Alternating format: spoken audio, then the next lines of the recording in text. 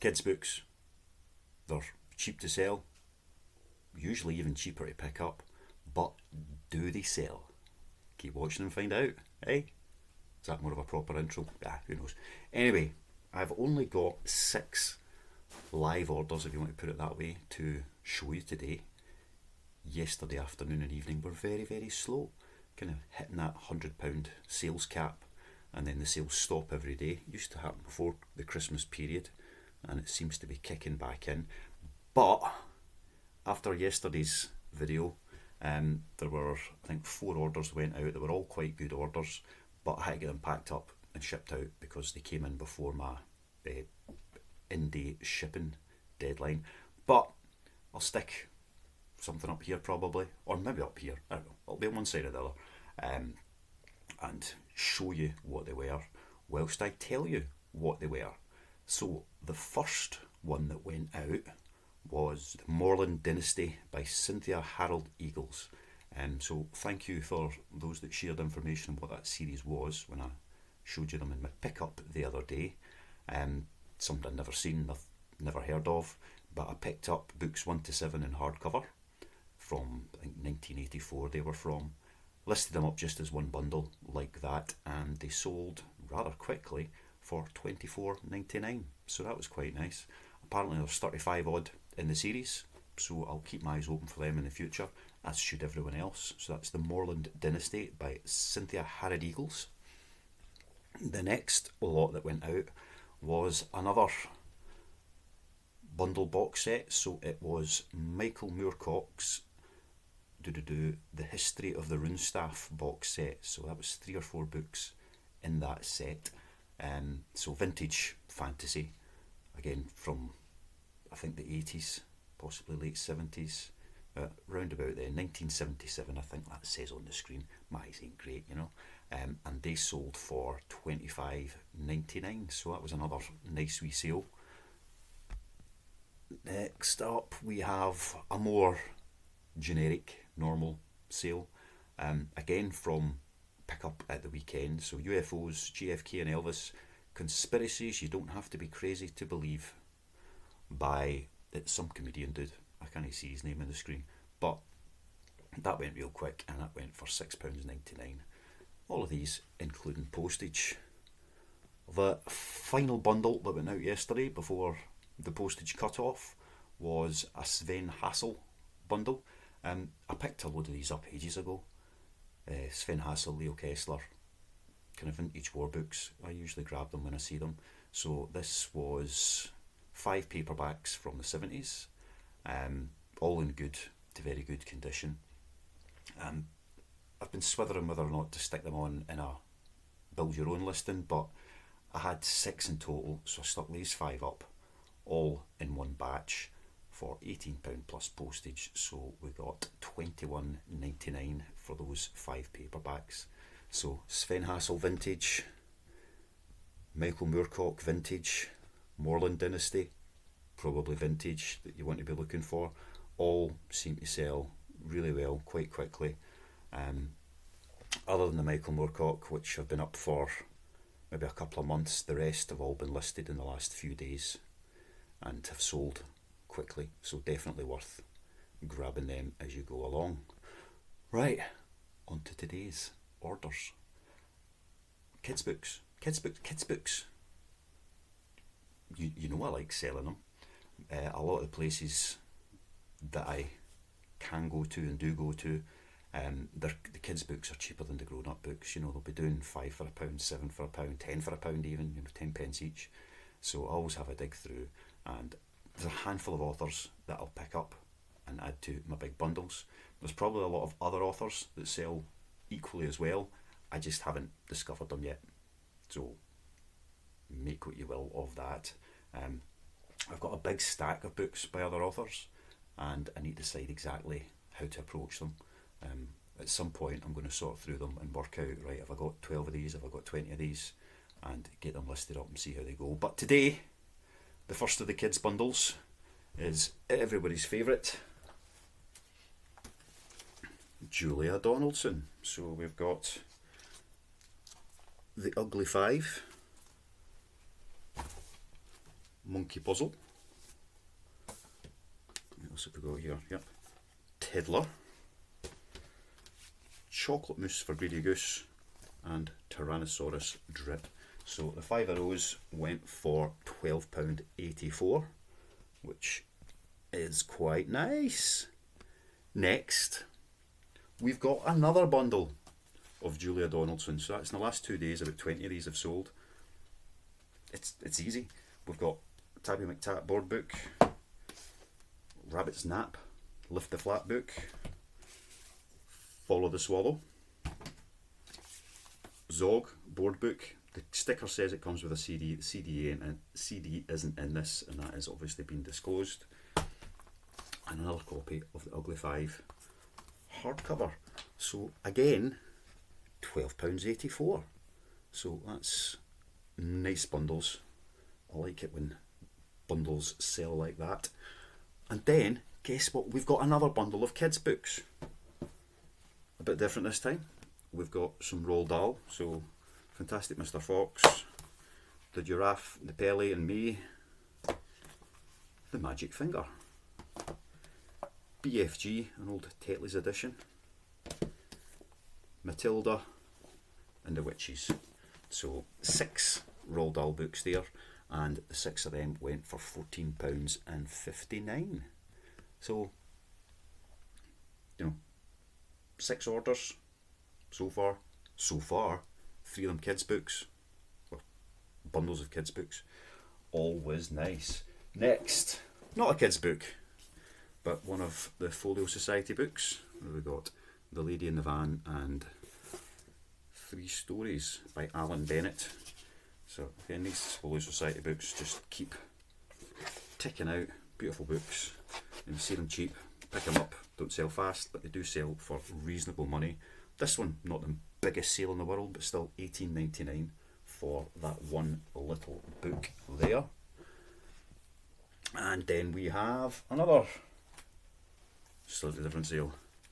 BMA Guide to Sports Injuries. British Medical Association. So a Dorling Kindersley, uh, good condition.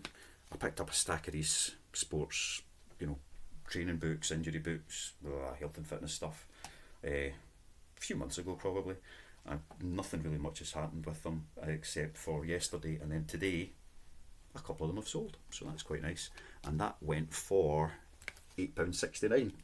So again, a wee bit above average on the book sales, so all quite good. Final order, so let's say not a huge amount of live stuff going out, but overall a reasonable order value for what it is. But the last bundle, more kids' books. This time it is Mr. David Walliams. So we've got The Beast of Buckingham Palace, that's a, a first edition, so that bumps up the overall uh, value of the order. Then we've got Demon Dentist, Awful Auntie, Billionaire Boy, and Rat Burger, all in very good condition.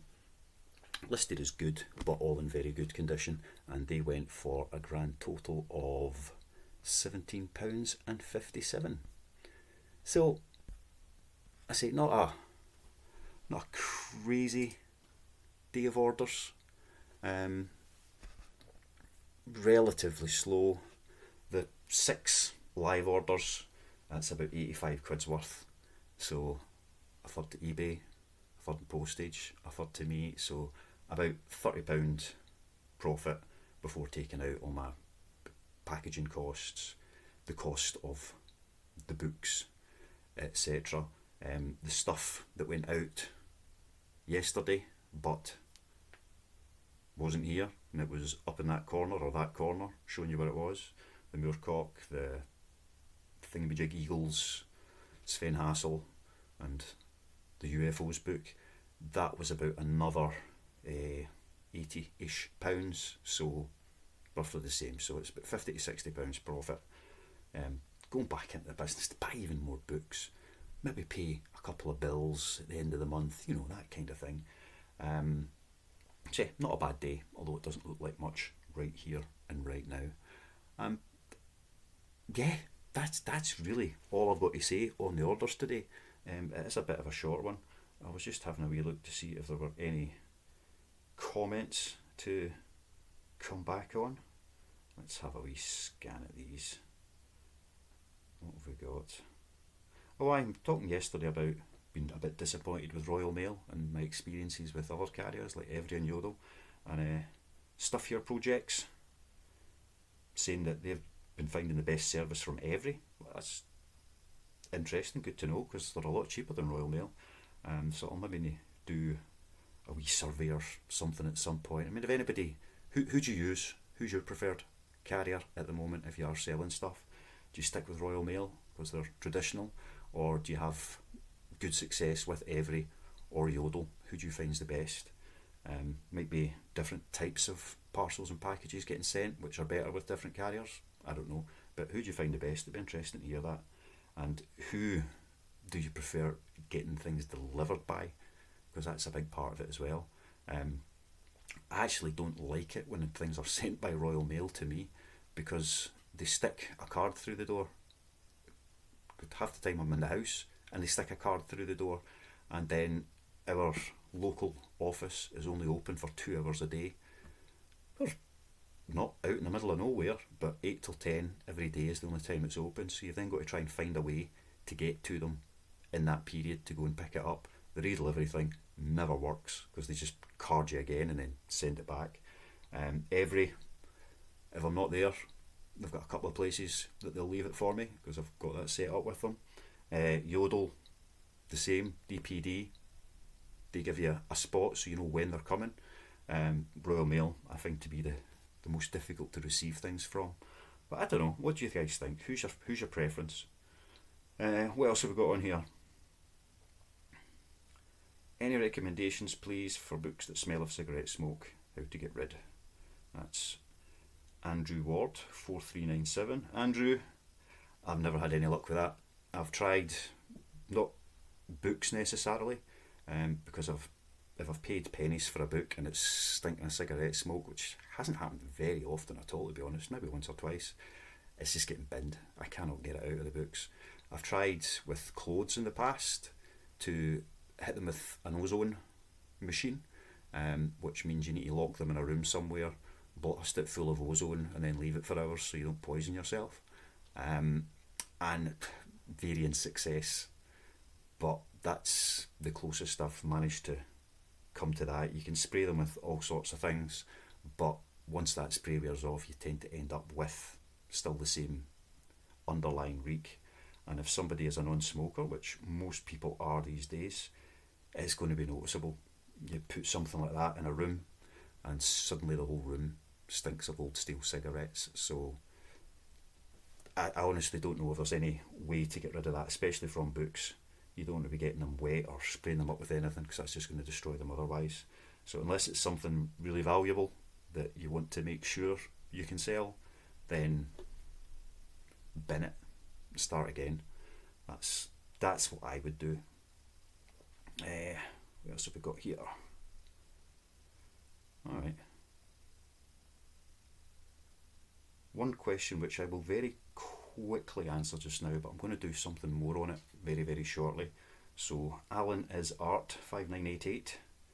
He's got a big white tiger in his profile picture. What's that from? I recognise that, but I can't quite see that image.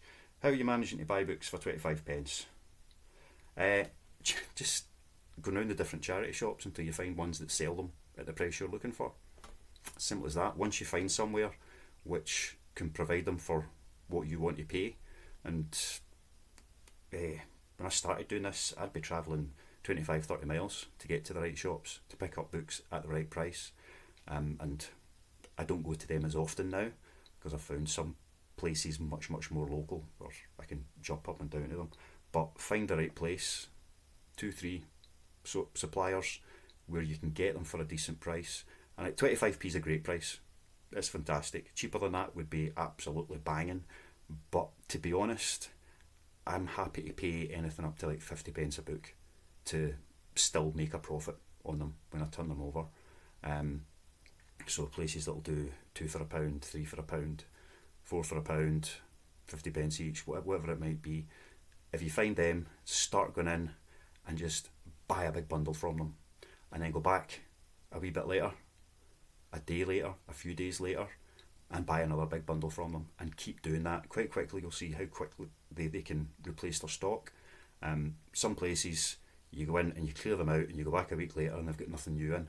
But most places, books get donated regularly, and if they're moving them, then they're more happy to take them in and they'll get them out. And once you've been doing that for a few weeks, they will know who you are and they will start, you know, giving you books to buy rather than just going in and seeing what's on the shelves. So work on that, build on that. Don't go in and try and smooth talk and blag your way into getting extra from them. Just be consistent in what you do. Go in, buy a lot of books, go back, buy a lot of books, go back, buy a lot of books. They will soon know you and they will be expecting you to go in and buy 50, 100, 200 books at a time and they will do what they can to facilitate that. They make a bit of money, which they always want to do because that's the purpose of charity shops. And it also means that they, if they've got a lot of the stock at the back, they can get it cleared out and cleared through because if they know you're coming in, they'll make sure it's available for you. So just find those few places where it is the right price and keep going. There will be parts of the country, I've got no doubt, where everything's like British Heart Foundation, where they want five, six pound a book. Obviously, you're not going to make any money on that off of that. You know, even at a pound, you'd have to be very, very selective to make any money off it. But there will always be something somewhere, and it might be you have to wait for car boot sale season church sales, whatever it is, and just go out and buy as many as you can at a time there and try and get them for that 50 pence or less. But yeah, charity shops, just keep buying them, just keep going. One more. Where are we? Do, do, do, do.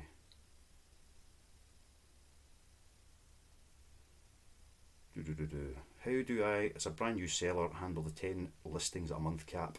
How do I get rid of this? Danielle Wheels.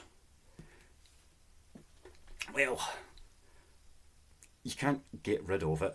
Then eBay is set up to make sure that people don't spam listings onto it. So if you're a new seller, you will have that 10 cap until you have a bit of history with them. So the way to get rid of it is to develop that history as quickly as possible. There's a couple of things you can do to expedite that. You can give stuff away take a hit just to get some feedback going and just to get some sales generated. So if you know talking about books, you pick up a copy of Rat Burger and World of Books are selling it for three pounds fifty. Stick it up for ninety nine p free post. You're going to lose money. That's it. You know, eBay are going to take their thirty pence, and then they're going to take another 15, 20 pence uh, and it maybe cost you 50p to buy, so that's that wiped out straight away with your 99 pence. And then you still have to post it, which is going to cost you about three quid. So you're going to be three pounds out of pocket, but you will sell it fast and you will get good feedback if you get it shipped out well. And if you do that a few times, then eBay will increase your your limit much more quickly.